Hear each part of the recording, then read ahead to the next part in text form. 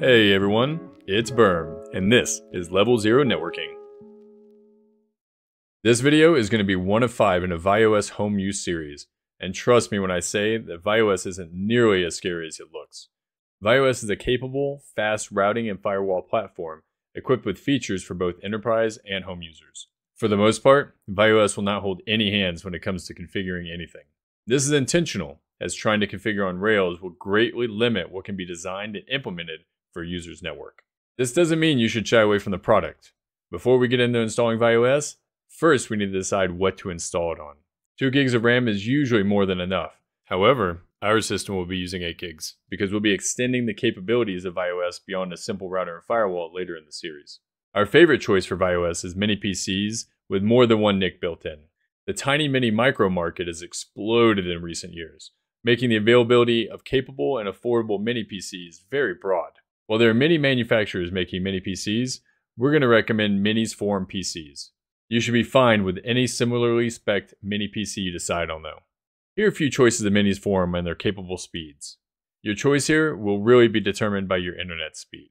Even the cheapest of these models comes with 8 gigs of RAM, plenty for home use. One quick note, while you can install this as a VM on a server, I recommend against it for actual use. You don't want your home internet dependent on something running additional software and possibly injecting instability. Now, back to it. VyOS can be downloaded for free using the rolling release. While there could be bugs in the code, it shouldn't be frequently, unless you're using newly added features. These releases are available from their GitHub. I'll put a link in the description. As you can see here, we've got 1.5 rolling. So all we need to do is go down and download the ISO. This should be a relatively quick install as it's only 455 megs. After the ISO is downloaded, we need to install it to a bootable flash. For this, I prefer to use Rufus. A link to that download is also in the description. Once Rufus is downloaded, go ahead and launch the program. First, we want to ensure that we have the proper drive selected. Here, I've got my 128 gig USB. Then, you want to click Selection under the boot selection and find the VyOS ISO you just downloaded. There's our VyOS 1.5. We'll be keeping the defaults for the other options. Let's go ahead and click Start. If you've received the ISO Hybrid Image Detected message, you'll want to select Write in ISO Image mode, which is the recommended mode. You may also be presented with a Download Required message. If so, then just select Yes. Finally, we're presented with a warning. All data on device will be destroyed. Let's go ahead and verify that our USB is indeed selected and then click OK. This process might take you a second. I'm going to speed up the video so that we can move along.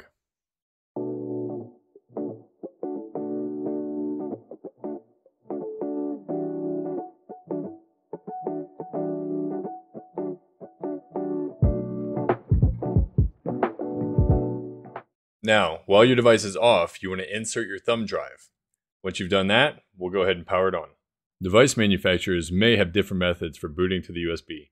For the Minisforum, you'll most likely want to press F11 to boot from USB, or you can press delete to enter the boot menu. I've gone ahead and entered the BIOS. Once in the BIOS, we're going to go to save and exit. So I'm going to use the arrow keys to push to the right. And you can see here we have boot override. So using the down arrow key, I'm going to select my USB thumb drive. And now I'll press enter. Once you've successfully booted from the USB drive, you should be presented with a grub bootloader. We're going to select the KVM option and press enter. For the sake of the video, I'm going to be fast forwarding through the boot process.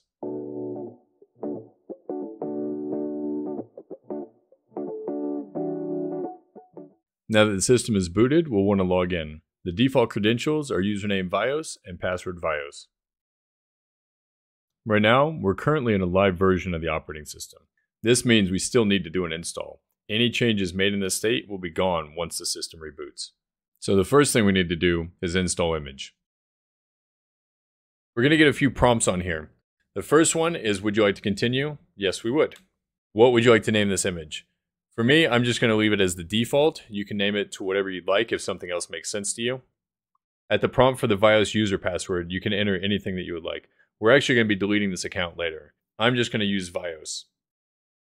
If your device has a console port and you'd like to use that, then you can go ahead and enter S now.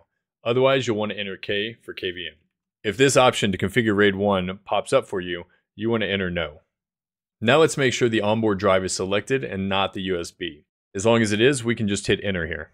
Installation will delete all data on the drive, continue. As long as we've selected the proper drive, we want to click yes here. As you can see, it says we have no previous install. Would you like to use all of the free space? Yes, we would.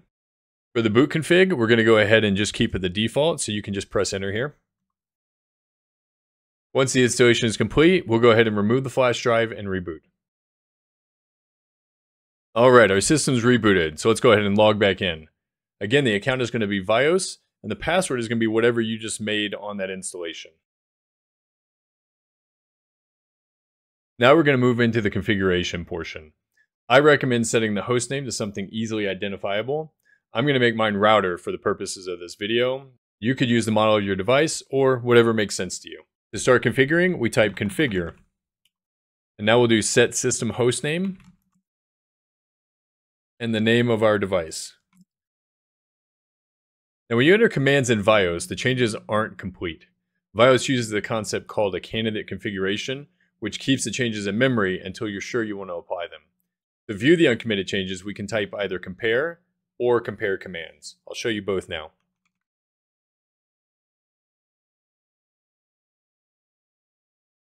As you can see, the output is slightly different. The compare shows you a plus and minus for what's being added and what's being removed, whereas the compare commands shows you the command being inputted with the delete system hostname, and then you're doing a set system hostname as well. Once we've looked over the changes and we're satisfied, we'll go ahead and commit. Commit makes the changes active, but it does not make them permanent. In order to do that, we also need to save the config. You can also perform both of these actions at the same time by doing commit semicolon save. As you can see, it says we have no configuration. That's because we just committed it a second ago. This specific change that we just made isn't going to be breaking anything. But if you aren't confident in the changes you're going to be doing, you can also do what's called a commit confirm. This will revert the config to the last saved configuration using a reboot. In order to do this, you need to do commit confirm without a save. Also, after doing this, you will need to type confirm in order to cancel the reboot timer. Usually, this would be used in a case where your changes might lock you out of the device or cause you to lose connectivity. I'll show you now what the command looks like. Again, since we don't have any changes to commit, it just tells us that we don't have any configuration changes. Now to see the host name change we just made, we're going to need to log out and log back in. As you can see, the host name has been changed to router. Also, it has our username at hostname at the beginning of the line. So, by default, VyOS will allow clients to use it as an NTP server. This will generally not be desired for home use, so I recommend deleting that capability. If you want to see what is in that section of the config before deleting it, you can look from config mode by doing show service NTP.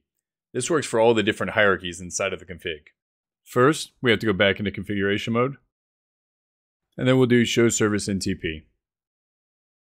As you can see under show service NTP, we have allow client and we also have three servers. Now that we've shown the services, we can see what we want to delete. So we're going to do delete service NTP allow client. We can also delete the individual lines as well if we want to be more specific about what we're trying to remove. The default servers for VyOS are based in the US, Germany, and Singapore and reside in AWS. So we're going to only use US based servers. First, we'll delete the existing NTP servers.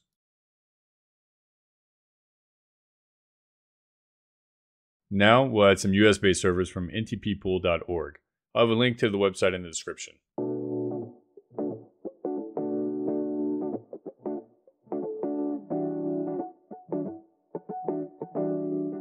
If you remember earlier in the video, I said we'd be deleting the VyOS account. Before we do this, we'll need to create another admin account first. I'm going to be creating a user called admin with a password that is also admin. For your account, you should use a unique username, not admin or VyOS and a strong password that is difficult to guess. You don't want to use something like root, admin, password, etc. So to do that, we'll set system login user and then the name of the user. Then we want to specify that we're going to add authentication. We want to input this authentication using plain text, and then we'll input the password. For the purposes of this video, I'll just be using admin for the password. Now let's do a compare commands to see what's being added and removed. As you can see, we're deleting all the allow client addresses and the NTP servers, and then we're also setting the new NTP servers, along with the new admin user. I'm going to do a commit confirm just to demonstrate how that works. If you'd like, you can just do a commit and save. Commit confirm will automatically reboot in 10 minutes unless changes are confirmed. You want to proceed? Yes, we do. So now, if we had made a mistake in here and we lost access to this device, in 10 minutes, we would have our device back. So now we want to confirm. After we confirmed, the reboot timer has been stopped. Now we'll go ahead and save the config as well. Now we're going to log out of the VyOS account. We'll log back in with the admin account that we just created. As we can see, the admin account we just created is working, so we'll go ahead and go back into configuration mode. And now we'll delete the VyOS account out. We'll do a compare commands. Again, as you can see, we're deleting the user of VyOS. Now that we're not logged in as the account VyOS, this should work as planned. With the commit and the save, both of them were done at the same time, so now we should be good to go. This is the initial setup for VyOS. We haven't yet configured the system to be operational to the provider, but we'll be doing that in the next video. This is only part one of a five part series. Again, in part two, we'll be configuring IP access to our provider and securing traffic to the provider using the VyOS firewall. If you found this content helpful or you just enjoyed watching, please be sure to drop a like and feel free to give us some feedback in the comments section. Also, if you haven't already, make sure to subscribe to the channel for the rest of the series and for future content in general.